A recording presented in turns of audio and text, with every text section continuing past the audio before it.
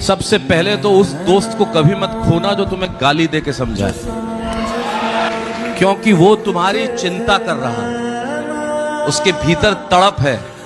उसे खोना मत। अगर दोस्त है तो है। अगर रात को दो बजे भी उसको ज़रूरत हुई तो अगर दोस्त नहीं खड़ा होगा तो कौन खड़ा होगा? अगर दोस्त साथ नहीं होगा तो कौन होगा?